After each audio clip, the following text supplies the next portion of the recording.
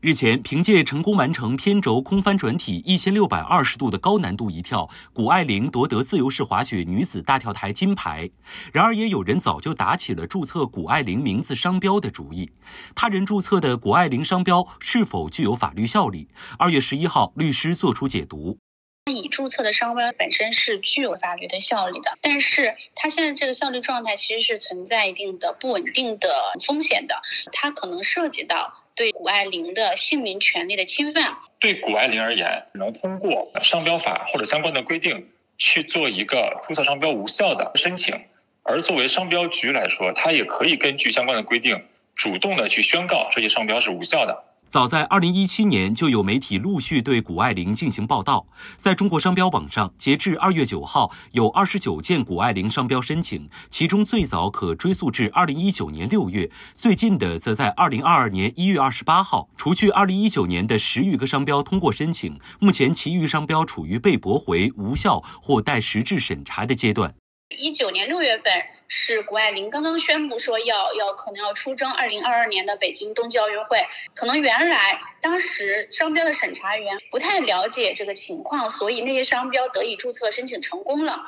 但是现在如果说再有人去提交谷爱凌这个商标的申请，本来他们可能与跟谷爱凌之间也没有什么关系，他也没有不能提交这样相应的这种授权书的话，他们的申请就是会直接被驳回的。个人或机构恶意抢注商标，需要承担怎样？样的法律后果，对于恶意申请商标或者说恶意抢注商标的这个申请人，他会处以警告和罚款的行政处罚。对于明确知道或者应当知道申请人属于恶意抢注，仍然接受申请人委托帮助他们去申请商标的这些商标代理机构，市场监督管理部门会给予责令整改、警告、罚款。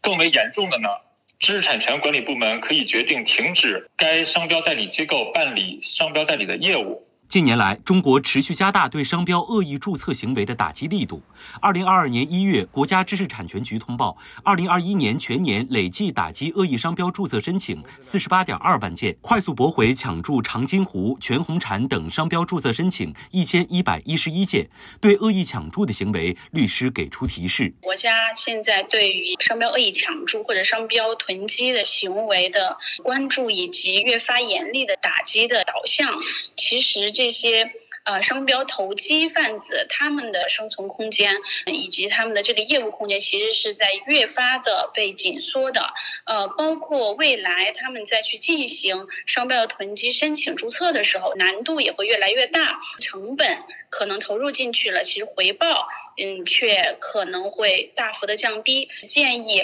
合理合法的以使用为目的注册呃所需要的商标。规范商标的注册及使用行为。